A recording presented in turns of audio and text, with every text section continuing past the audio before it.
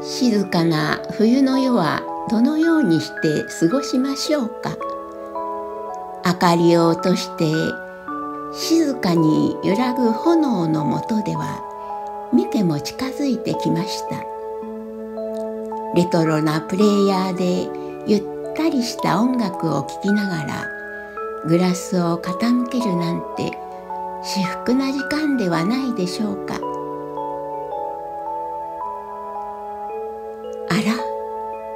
っと冷えてきたと思ったら外は雪になったようですよ。